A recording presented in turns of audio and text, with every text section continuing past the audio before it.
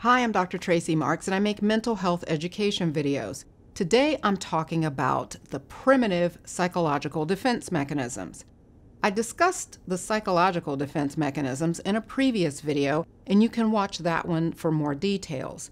But in short, psychological defense mechanisms are behaviors that we engage in to protect ourselves from anxiety that results from mental conflict. The behavior is unconscious, meaning it's beyond your awareness. It's a reflex for you to do these things to ward off negative thoughts and feelings. What are some of these mental conflicts?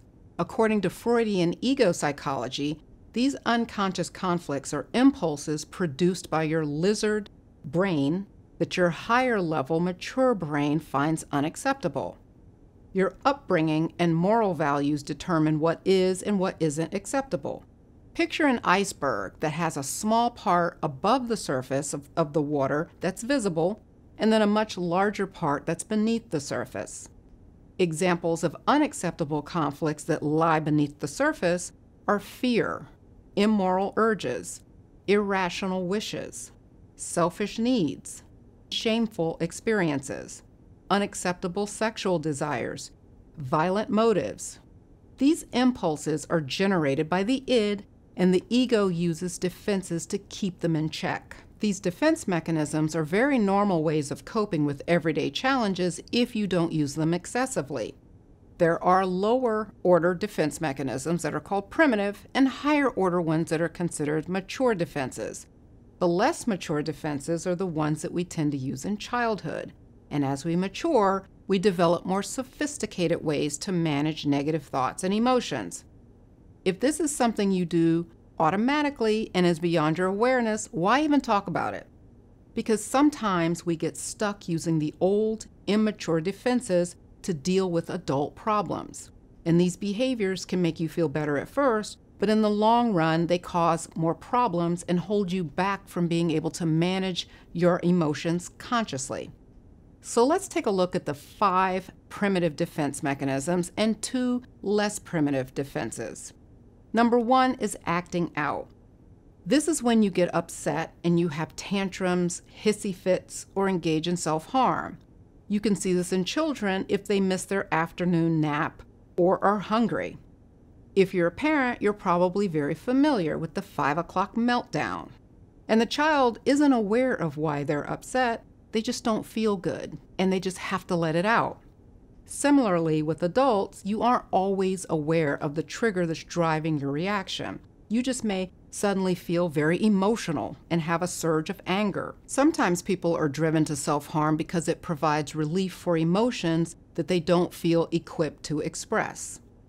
Number two, compartmentalization. This is where you mentally separate thoughts or emotions that conflict with one another so that you don't have to deal with the contradiction. An example of this is you have a strong belief that as a society, we've been irresponsible in creating toxic waste that's caused global warming. You even chastise your friends for drinking out of plastic water bottles and using Clorox wipes. But you work at a manufacturing plant that decided to convert all of their glass products to plastic to save money. And even though you loathe the use of plastic, you don't feel guilty working there because it's just a job. You have no say in the decisions that they make, and after all, you still use glassware in your home. With this attitude, you don't have to judge yourself for working at an entity that you believe is destroying the earth. Number three is denial. This is where you refuse to accept the reality that's apparent to everyone else. A common example of this is being in denial about having an addiction. Another way that this can look is to ignore signs around you that point to a certain reality. You don't have to say out loud, I refuse to believe that my partner is having an affair. But you can ignore glaring signs like your partner never being home at night or getting lots of text messages that they quickly delete. You can see all of that, but you ignore it because you don't want to think about it or deal with it. Number four, dissociation. This is where you mentally block out distressing memories or experiences. And this is a very common defense mechanism in people who have suffered trauma. Your mind can go to another place while you're experiencing the trauma, or your mind can take the memory and then stick it into a hidden place in your mind so that you can't find it. You just can't really remember. And this doesn't have to be a major experience like being assaulted. I've talked to people who can't remember most of their childhood. They remember that there was a lot of emotional abuse in the household, and they remember the way it made them feel, but they don't remember milestones like the first days of school or what they did during the summers. What did you do for your birthdays? It's just one big blur. In some ways, dissociation is an extreme form of compartmentalization. Compartmentalization can sometimes be helpful. If you've got bad things happening to you one after another, it can be helpful to put things in certain mental categories so that you can prioritize how to move forward one step at a time. But dissociation is never a productive defense because it numbs you and allows you to stop feeling anything. And some people can get so used to using this defense that they spend a lot of their time checked out and not in the moment. And it can also be very distressing to have these gaps in memory and feel disconnected from your current reality. Number five is reaction formation. This is when you have an undesirable thought and make it better by acting in the opposite way that you feel. Some people believe that homophobia is reaction formation. The person who may have been attracted to someone of the same sex defends against it by taking this overly harsh attitude toward homosexuality. And that harsh attitude affirms their own heterosexual orientation. If I hate it, then I must not be it, right? The next two defense mechanisms are more mature than the previous five, and they're more mature because they cause less problems and they're more sustainable as a way to manage negative emotions. The first one is displacement.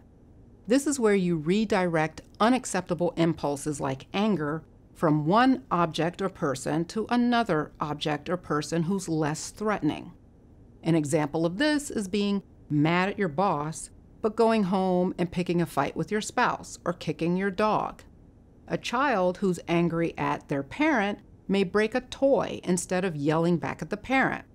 So you can see how this kind of defense mechanism can be more adaptive because you avoid serious negative outcomes by taking out your aggression on something that produces less negative consequences.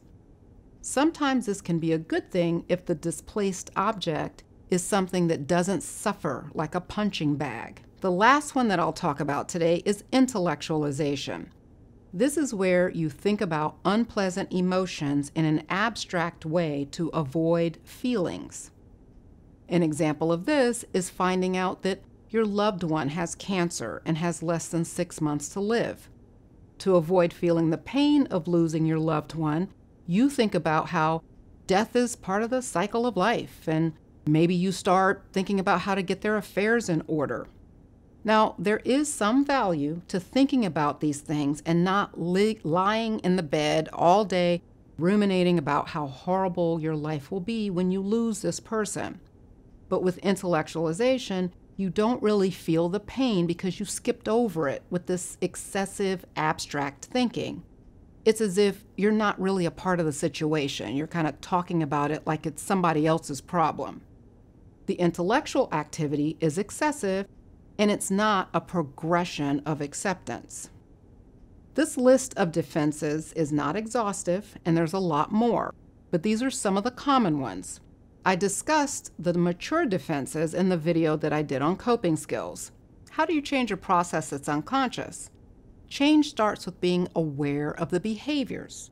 The part of this that's unconscious is the impulse behind the behavior or the conflicts underneath the surface.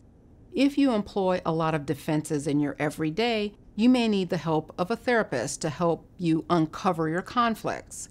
But in the absence of a therapist, do some self reflection. Have you engaged in some of these behaviors? Are there some thoughts or feelings that you can identify that may have triggered the behavior? Think hard about a moral issue or something other people would find unacceptable, like wanting to harm someone who made you angry. How did you respond to that insult? Did you sit with the emotion and let it pass? Probably not. Psychological defenses are the ways that we separate ourselves from being fully aware of unpleasant thoughts and feelings and being mindful of what you're experiencing in the moment helps you not reflexively engage in these defenses. I'll talk more about managing negative emotions through acceptance in a later video. Thanks for watching. See you next time.